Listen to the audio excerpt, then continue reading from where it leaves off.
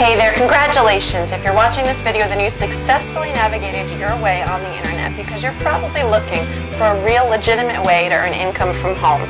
My name is Jen Papadamatos and I'm about to share with you what's worked for me.